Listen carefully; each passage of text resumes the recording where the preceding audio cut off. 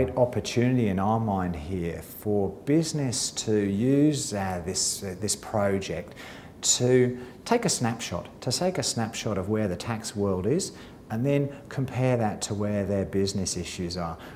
All businesses that we deal with are continuously looking forward and assessing their own business plans. They're looking at their resourcing, they're looking at where they want to go in the future. Really, for us, we say this is a great opportunity to have a conversation, to to share some ideas about what our professionals think about the direction of tax around the world and have that conversation with, with, with business both at a, uh, at a large uh, industry level perhaps or an individual corporate level and say, look, these are all the things that we think are going to go, that, that may happen and therefore as you do your ordinary business planning, these are the things that we think you should involve into that process. Just as, uh, just as business doesn't know in its own budgeting process or its own planning process the certainties around the business outcomes. We don't know the certainties around tax outcomes, but what we do know is that uh, the environment will change and it will probably change quite quickly. And therefore, the earlier that those discussions are started, I think the more